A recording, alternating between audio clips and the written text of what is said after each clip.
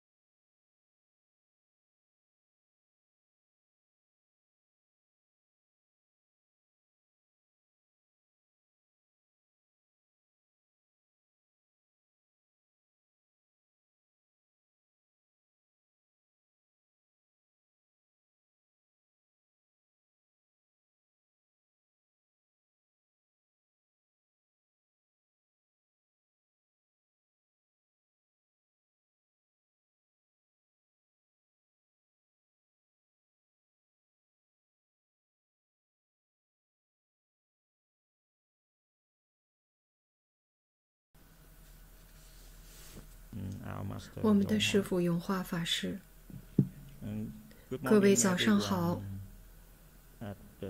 各位在维山寺、金陵寺以及法藏寺的同修，感谢大家来参加我们周日的净土法会。各位今天早上怎么样？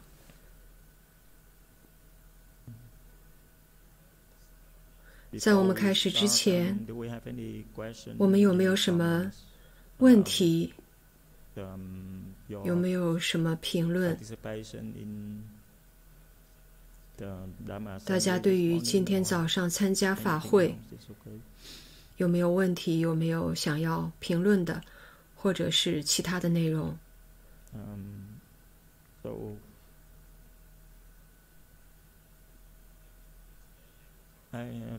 我最近想了一下，是什么会限制我们念诵阿弥陀佛名名号？在我们的寺院里，我们的师父鼓励我们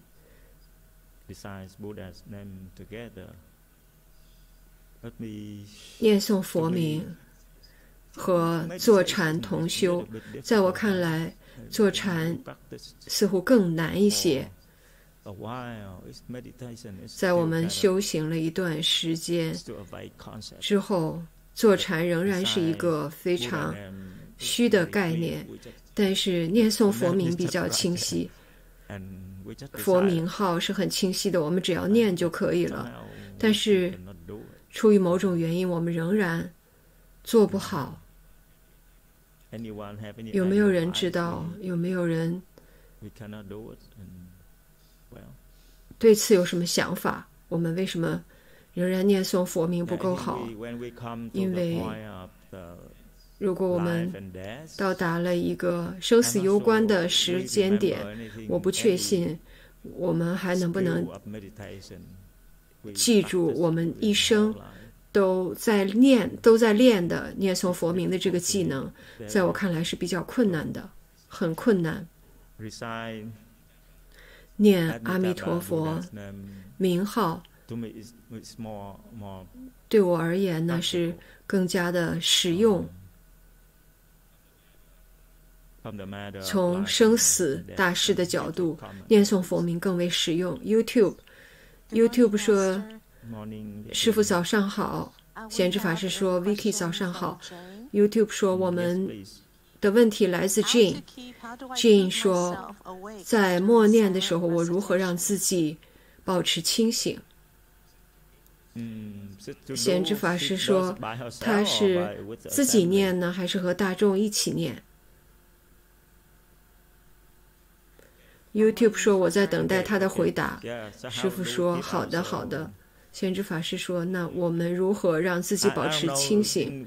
我不知道，在我们和大众一起的时候，我们和大家一起念诵，如果还困的话，那么那就比较困难了，因为我们和其他人一起念，其他人的声音，其他人我在我们身边，我们有大众整个一起念的这个力量。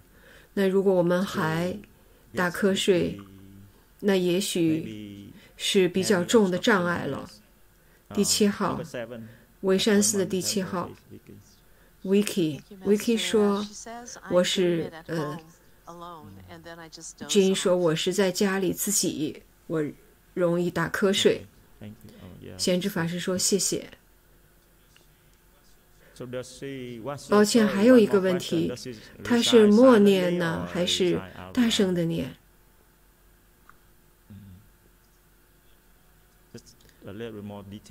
需要再多一点的细节。在我看来，如果念诵大声念诵，就会更容易。我同意，如果默念的话，容易打瞌睡，容易睡着。在我也时不时的发生。是，我不知道如何克服这一个问题。但如果我们不断的练习，那么我们就会醒来再念。也许还有不同的其他的原因，也许他工作累了，那么他可以尽他的全力来念诵佛名。那么下一次呢？也许就。可以不用打瞌睡了。Vicky 说：“我是 Vicky 说，他回答 Jean 回答说，我在网上跟随贤之法师的念诵，我默念，我睡着了。贤之法师说，那这里头有很多的因素。如果这种情况每次在家里念诵的时候都发生了，那么也许他可以试着大声念诵，而不是默念。”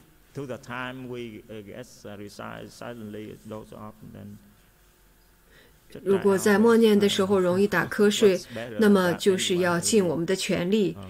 呃，大家在这个问题上有没有什么建议？如何能够在默念佛名的时候不至于打瞌睡？我也会发生这种情况，大家有建议吗？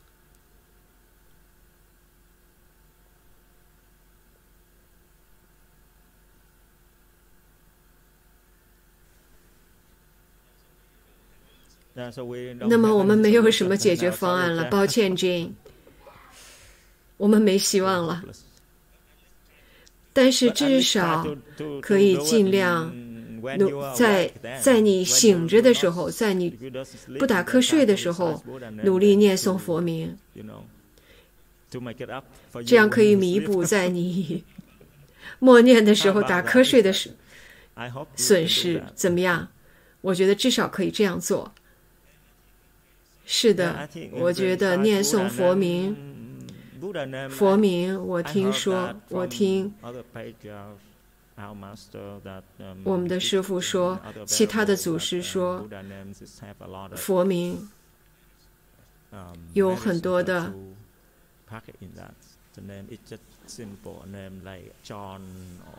福德，念诵佛名有很多的福德，佛名不是一个普通的名字。如果我们念诵佛名的话，这就包含了佛的福德。那么，我们念诵佛名的时候，我们努力把自己和佛发生链接。我们不需要一整天都有自己的负面的念头。念诵佛名呢，就是一个积极的念头。这样是我们想起了佛，念着佛，念佛的名号。在那一点的时候，我们还不是说到生死攸关，这时候我们还是活着的。这种念诵可以使我们的生活更加的积极，有更多好的能量，而不是用而不必去思考负面的内容。如果我们能够更多的这样做就会改进我们的生活。我希望是这样。在我对我而言念诵佛名对改进我的情绪有很大的帮助。金林寺的问题。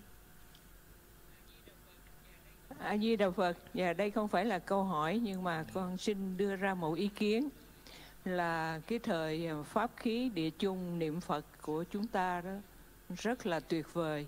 Thì à, có thể nào chúng ta đưa cái thời đó lên YouTube trước khi mà à, thầy giảng hay không? A Di Đà 金林寺的问题是用越南文提的。先知法师说：“嗯。”这个需要师傅的允许， 我不知道，因为我们不把自己的法会在 YouTube 上直播。目前为止是这样的做法。如果需要直播的话，需要师傅的允许。我们没有直播。是因为我们念念诵拼音、念拼音的发音不够好。如果把它放在 YouTube 上，也许会给那些能够很好的念诵拼音的人带来烦恼。我听说师傅不把我们的法会在网上直播，这是其中的一个考虑。希也许希望在未来能够有改进。我不确信我的拼音发音在这些年里有进步。我觉得还是有一些进步。嗯，或许在能够在网络上直播之前呢，还需要有更多的改进。大家有没有什么问题？有没有什么想法？是的，我想在白天的时候，我们有很多的时间。如果我们努力更明智的利用这些时间，我们可以增加。我们念诵佛名的练习，特别是当我们没有手边没有太多工作的时候，这样就更容易一些。我们可以不用去考虑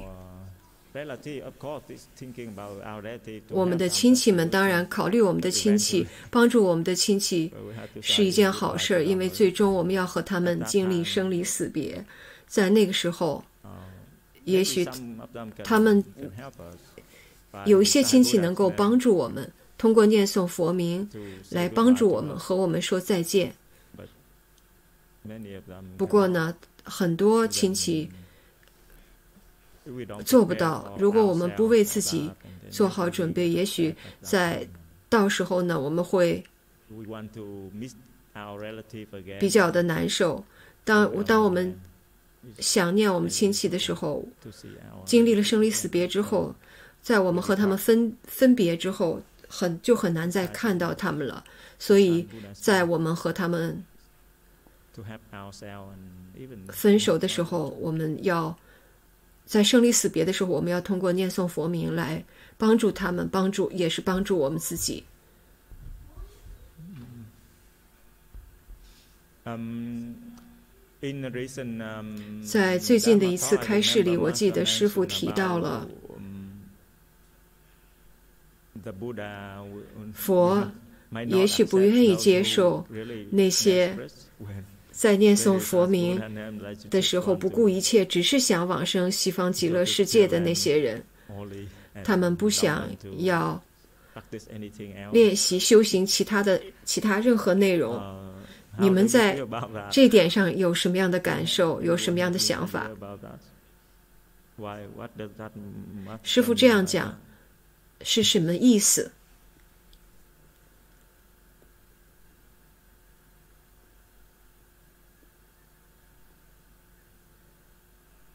好的。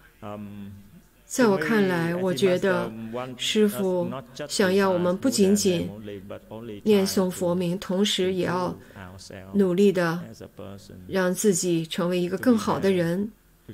因为在西方极乐世界，我们不仅仅是要往生，同时也要根据佛经往生有不同的品级。所以，师傅要我们提高我们往生的品级。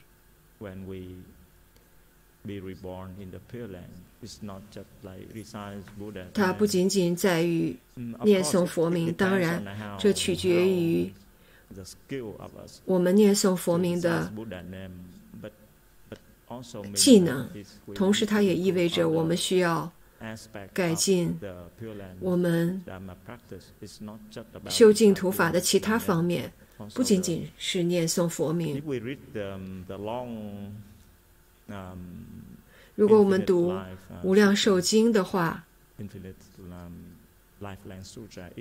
经上讲到了往生西方极乐世界的不同品级。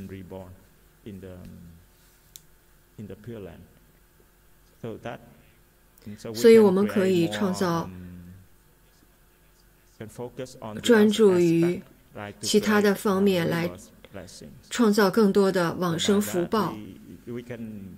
我们可以做一切的善事，然后把做善事的功德福德回向给回向成为往生。福报，我想通过这这样的做法，我们可以提高我们往生的品级。在未来，我们往生净土的品级，我想这是师父想要强调的。除了仅仅念诵佛名之外，这是我的想法。有没有人有不同的观点，或者是其他的想法？第五号，第五号说：“贤智法师，早上好。那么我们在往生西方极乐世界的时候的品级，它的基础是什么？它是基于定力，还是基于福报？为什么我们要禅净双修？” OK，OK。师傅说：“好的，谢谢你的问题。我想，定力和福报，他们是相联系的。至少在师傅的修行里，师傅希望我们能有更多的福报，这样。”会比我们缺乏福报的时候提高定力水平更容易。我不知道在其他修行的地方是什么样的主张。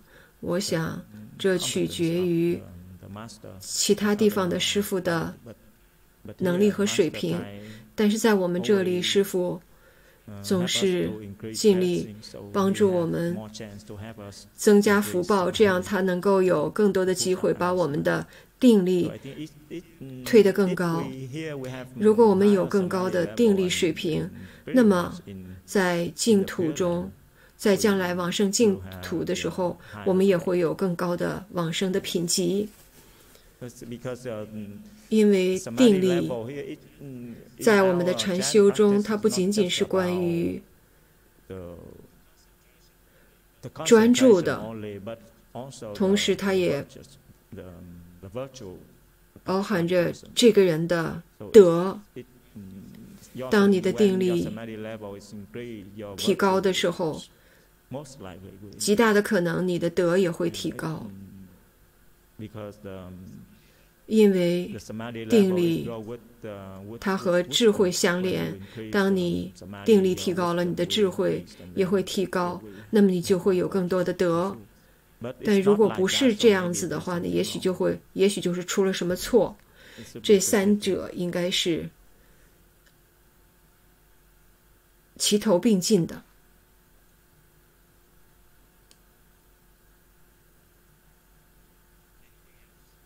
还没有什么其他的内容要讨论的。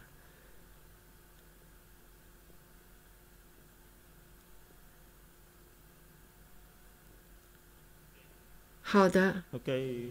如果没有的话，我想我们可以停到 到此为止。我们可以休息一下，然后吃午餐。谢谢各位。